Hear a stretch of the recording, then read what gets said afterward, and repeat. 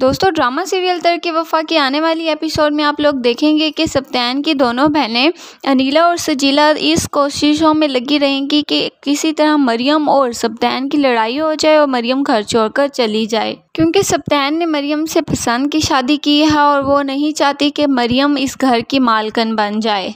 और उनकी कोई वैल्यू ना रहे। दोस्तों सप्तैन की बहन नीला बैठी होती है कि सप्तान आ जाता है। सप्तान उनसे पूछता है कि आप पाची ऐसे क्यों बैठी हुई हैं?